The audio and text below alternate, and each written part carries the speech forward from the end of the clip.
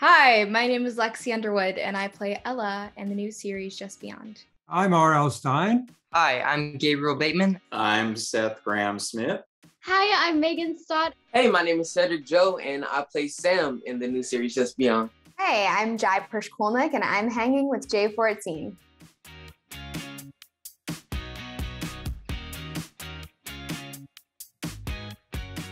Well, I mean, I, you know, somebody came to my office holding a copy of a graphic novel and said, "Hey, what do you think of you know doing this R.L. Stine graphic novel as a TV series?" And that was immediately intriguing, you know, just um, because of the R.L. Stine of it all, and also because the idea of doing a, an anthology series where you get to tell a different story every episode, and you don't have to worry about you know season arcs or character growth or you know multi-season arcs. I mean, you know, uh, the stuff that you have to think about in almost any other television show. So it just seemed like a lot of fun, and it, it turned out to be a lot of fun.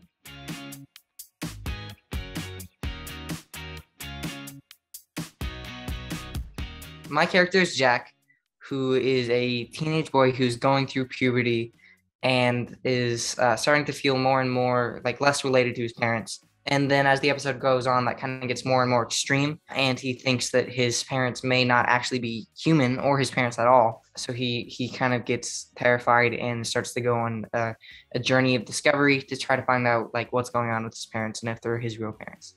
I play Luna in episode three, Witch Witch. Uh, pretty much what happens, my cousin uh, Fiona, who's played by the beautiful and talented Rachel Marsh, she's um, not really embracing her witch heritage. She gets bullied for it a lot at school, and her world is kind of turned upside down when her cousin Luna literally comes in on a tornado and is just staying with her for a few weeks. Luna is very much a witch. She loves every part of her witch identity. She's got white, spiky hair and purple eyes and the long nails.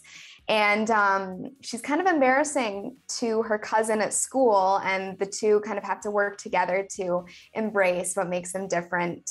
Oh my gosh, the whole thing was so exciting. Um, definitely becoming the character with hair and makeup and wardrobe and also taking on the accent. I spoke in the accent solidly for three weeks to the point that everybody on set thought I was actually British. So it was a pretty big shock when afterwards the cast and I all went out for pizza and I showed up and no one recognized me. So Olivia is basically her parents are going through a divorce, and uh, she has to move to this new state with her mom and this new house that has creaky floorboards and like flickering lights, and she's not really comfortable, and she has to make new friends, and it's basically about her um, anxiety and her nervousness, and basically overcoming that and having strength. So Sam is uh he's a young boy dealing with uh the loss of his father, and with that he somehow ends up in an alternate universe. So he's dealing with grief. He's grieving while he's trying to find a way back home, and while he's trying to find a way back home, he is also trying to deal with the death of his father. Um, that it is okay to be sad, um, and it's, it's okay to be in pain, uh, and it takes time to heal. 14 year old Ella. Uh, she should be excited about her class field trip uh, to the legendary Fox Theater, but unfortunately, her ex best friend Zoe will also be there. Um, and so they go to the theater. Um, a tour guide tells them the tale of the 1938 fire that claimed the lives of an acting troupe in rehearsal. And um, they they have like this spooky legend that uh, that the dead thespians are looking to pluck the living and drag them into their acting troupe. And so when personal issues with Zoe sends Ella running off, Ella finds herself trapped in the theater um, overnight and in the middle of all this drama between the ghosts. And so throughout uh, this this story that we tell overnight of, of a um, of a haunted night at, at the Fox Theater, Ella learns um, you know the importance of forgiveness and to not let her circumstances define her. Uh, change is a big big message in this episode, and so uh, she just really learns the importance of forgiveness and that at the end of the day, no matter how hard um, something may be or no matter how much pain it's bringing you, you also have to heal and you have to move on and you have to accept your fate um, to ultimately grow into the person that you want to be.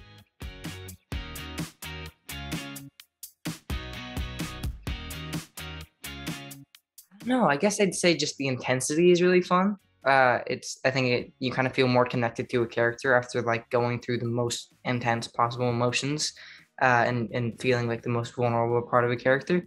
Also, a lot of the like uh, for Child's Play had a lot of harness work and um, a lot of stunts, which was really fun for me. So anytime I get to do stunts, it's fun.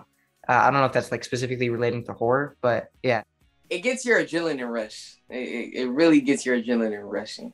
I'm really into like the psychological thrillers, and so I love when uh when a when a story will like throw me off, and I think like I absolutely know who the killer is, or I absolutely know who the villain is, and it like goes in like a hundred other different possible routes. Um, so I I love the adrenaline, and I love uh just the surprises and and all the the excitement that horror has to bring.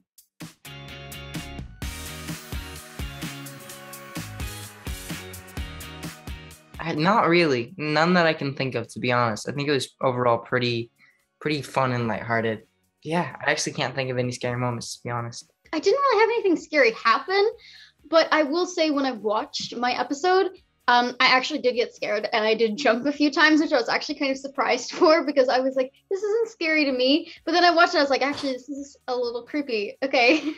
Okay, so for scary, there were lots of scenes with bugs. Most of the time they were fake, but a few times they were real. The tarantula, everyone was real. Just be aware of that. Um, funniest and embarrassing. Okay, I have a few. So I had these like super long talon like nails, and they would constantly pop off in takes. So we'd have to cut takes or stop them, or afterwards I'd be like, okay, lost my right pinky, lost my left middle finger and they'd have to come back and put them on. But I think that most challenging part about wearing those nails was that I could not get myself dressed if I needed to change once I was all, already in hair and makeup. So they had to have people help me get get dressed. I mean, the Fox Theater, we actually filmed in the Fox Theater and there were a couple of night scenes and then especially when we get into like the second half of the episode into like all the creepy haunted demon skull stuff, that in the Fox Theater with really dim lighting and smoke coming from the ground was terrifying within itself. Like, especially when it's like 11 o'clock at night, it just all of that combined, I was terrified sometimes. Like I actually forgot I was filming. Uh, so that was probably like the scariest part. Yeah, there was a, a scary, I guess, and a highly embarrassing moment for me. Um, there was a, a moment where, now remember, we had to wear face shields because of COVID. So, and when you're filming a horror thing, you know, usually you're in like a dark kind of set and, you know, there's moody lighting and things. And this special effects people had strung these tiny, like, steel wires across the set to you know pull um, lamps and things and make things move and to give you the impression of ghosts being there. And i didn't know this. And uh, in the middle of a take i had to give uh, uh, I, had to, I wanted to go talk to an actor. And so i ran out to go talk to the actor and just got clotheslined by one of these things. And right in front of the whole crew. And and by the way not only did it leave a mark on my neck but i ripped the entire uh, special effect out of the wall. They had to stop. They had to reset everything. It was, it was very embarrassing.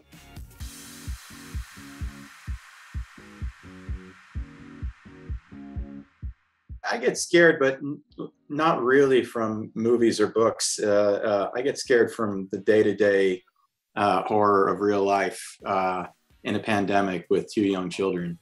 That's uh, that's terrifying to me. Nothing okay. scares me. I, there's something missing in my brain. And um, when I read a scary book or I go to a scary movie, I'm the one who's laughing. Horror makes me laugh. I never get scared.